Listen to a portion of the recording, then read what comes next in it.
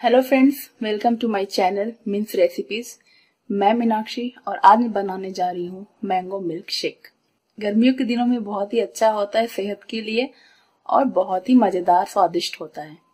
जैसा कि गर्मियों का दिन आ चुका है साथ ही साथ आम का भी सीज़न आ चुका है। तो आम का सीज़न जाने से पहले क्यों ना हम आज मैंगो मिल्क शेक बनाए? तो आइए शुरू करते आज की रेसिपी मैंगो मिल्क शेक बनाने के लिए हमें चाहिए आम का गूदा, यानी कि पल्प। मैंने दो बड़े आम लेके उसके पल्प निकाल लिए हैं। तीन कप मैंने दूध लिए यहाँ पे, ये चिल्ड है। चार बड़े चम्मच चीनी लिए हैं मैंने और सात से आठ आइस क्यूब लिया है। आप चाहें तो चीनी कम या ज़्यादा कर सकते हैं अपने स्वाद के अनुसार। तो आइए शुरू करते हैं।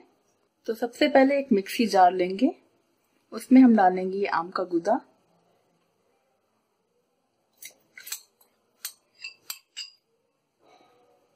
फिर डालेंगे चीनी। और अब ऐड करेंगे दूध। अगर आपको दूध ज़्यादा नहीं पसंद तो आप कम कर सकते हैं। मैंने यहाँ फुल तीन कप दूध लिए हैं। और अब डालेंगे ये आइस क्यूब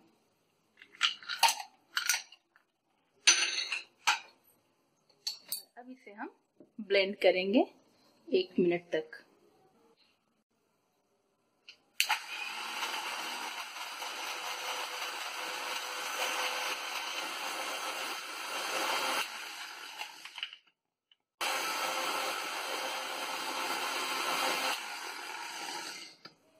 आप देख सकते हैं कि तैयार हो चुका है।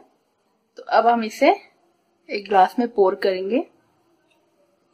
तो एक बड़ा ग्लास लेंगे, जो भी आपके पास सर्विंग ग्लास हो, वो ले लें आप।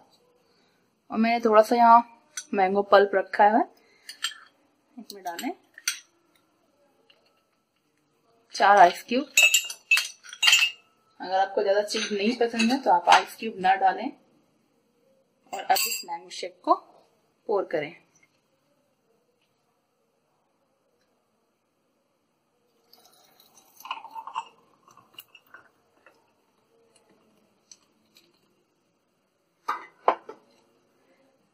तो तैयार है हमारा स्वादिष्ट मीठा मैंगो मिल्क शेक आप भी इसे इन गर्मियों में बनाए अपने घर पे और इसे एंजॉय करें। अगर आपको ये वीडियो और रेसिपी पसंद आई हो तो मेरे चैनल को ज़रूर सब्सक्राइब करें और मेरी वीडियो को लाइक और शेयर करें।